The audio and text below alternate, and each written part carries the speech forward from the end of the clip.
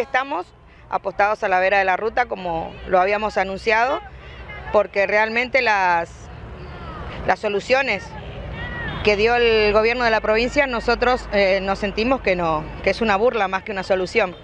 Así que vamos a seguir con las manifestaciones, que como verán cada vez van aumentando en el tenor el reclamo, la necesidad de la misma, que el tarifazo plante bandera y diga y que reconozcan que están cobrando en exceso las boletas de luz y de agua por un mal servicio, porque realmente ninguna de las dos empresas nos están brindando un buen servicio.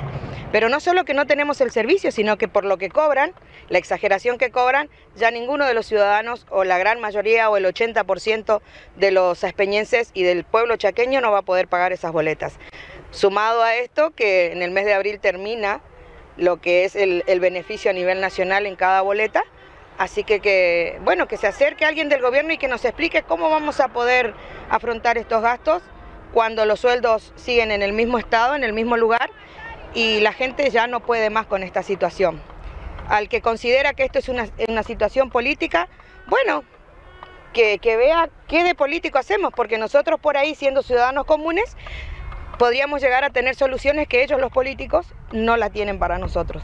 Así que seguiremos haciendo nuestro reclamo hasta que al que corresponda, que es al gobierno de la provincia del Chaco, nos dé una respuesta, pero una respuesta en la que podamos todos ser partícipes, no unos pocos como ahora que ponen un beneficio de 2.400 pesos para aquellos que tengan un consumo o que pagar una boleta de 15.000 pesos, cosa que al ver las boletas no son, pero un 10% tendrán ese monto. El resto superan los 20.000 pesos en cada boleta. Y las que van viniendo son mucho más aún, en 30, 40, te hablo de una familia tipo, no te hablo de los comercios que bueno, son boletas con mucho más precio, pero el que recibe el vecino común Hoy tanto el barrio Ruchi, el barrio Obrero, el barrio en Sánchez Sur eh, recibieron la visita de ese, chef, pero para cortarle el, suministro. O sea que estamos ante una empresa que no nos está dando un servicio, sino que nos está extorsionando. O pagan lo que nosotros decidimos o le cortamos.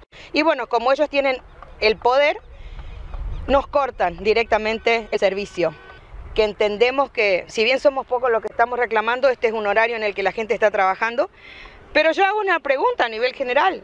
¿Qué va a hacer cuando nosotros, los pocos que podemos pagar la luz, ya no la paguemos porque no podemos? Entonces, ¿cómo van a solventar ellos a toda esa gente que está enganchada, a las que le deben un favor?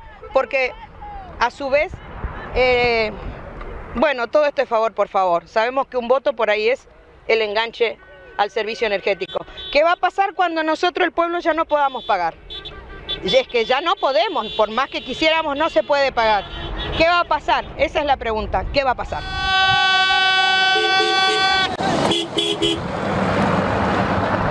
Somos el primer canal de noticias desde el interior del país. Transmite desde el histórico chalet Rapacioli, Resistencia, Chaco, Norte Grande Federal. Somos periodismo con historia.